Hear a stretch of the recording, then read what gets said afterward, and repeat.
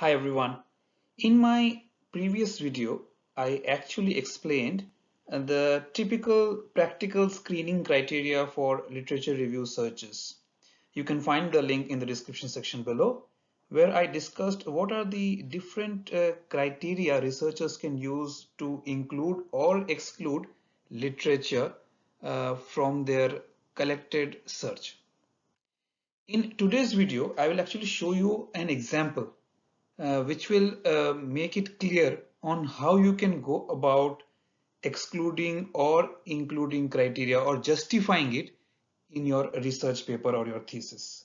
So let's take an example where I'll show you a small paragraph on how a researcher wrote a certain paragraph and justified the screening criteria and then I'll highlight the important bits and pieces so that it becomes clear to you as to what you have to do in your literature review so if you read this article carefully, and I'll give you a couple of minutes to do so, uh, you can see here the researcher has written that to identify articles in English pertaining to measures of social functioning, uh, we use three sources of information.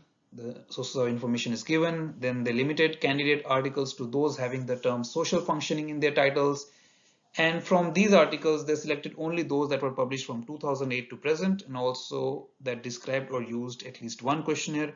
And they excluded articles, letters, reviews, editorials that were not written in English, French, Russian, Danish or Spanish or dealt primarily with methodology or policy. They then reviewed the list of articles and restricted their selection to 15 prominent journals. So this is the way they wrote the paragraph. Now let's highlight the bits and pieces that you guys need to know as to where are the inclusion criteria and where is the exclusion criteria.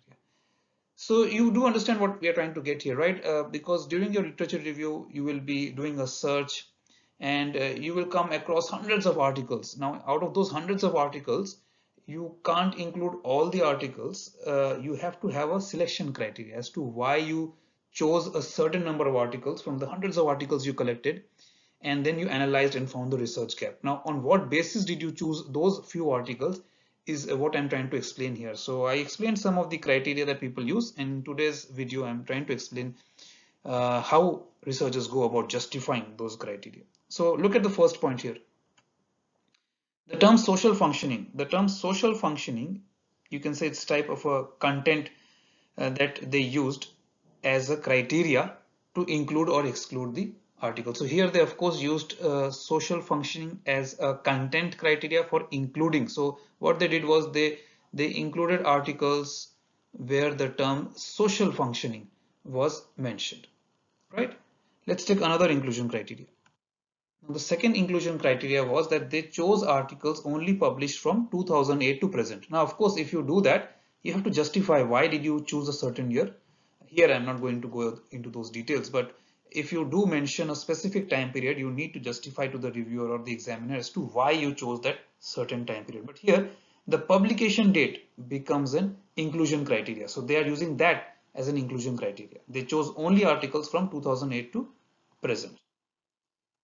The third inclusion criteria could again be classified under a content or an instrument where you, they chose to select the articles only that uh, that described or used at least one questionnaire if not more.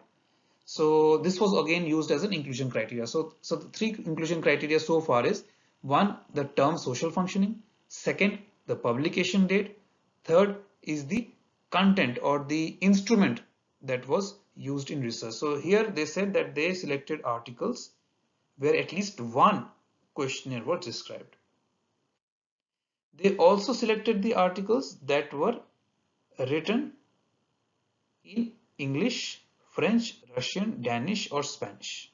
Alright, so uh, this becomes a publication language. So here you can see they have clearly written, we excluded letters, articles, reviews, editorials that were not written in English, French. So they selected the articles that were written in English, French, Russian, Danish or Spanish.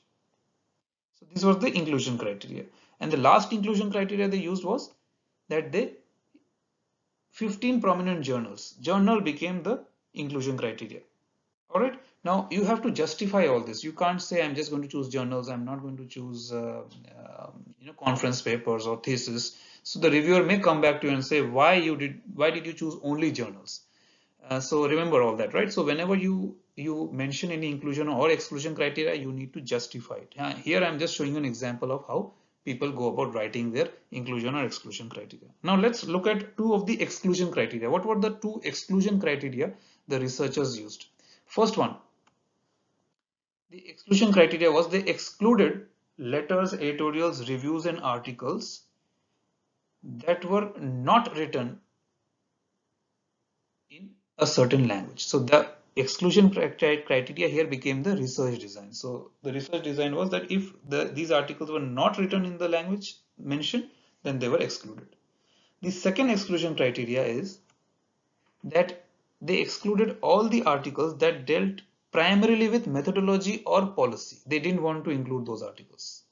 All right. So uh, again, it was the researcher's choice, must be the research focus, but they did exclude those articles that dealt primarily with methodology or policy.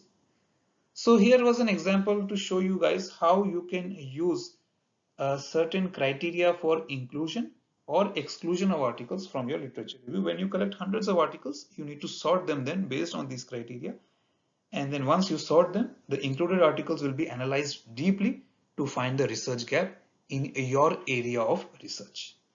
So guys, let me know what you thought about this video and whether you enjoy these videos or not. And thank you for supporting the channel. I'll keep uh, publishing videos, easy to understand videos that will help you in your research journey. And um, thank you for supporting the channel. Bye for now.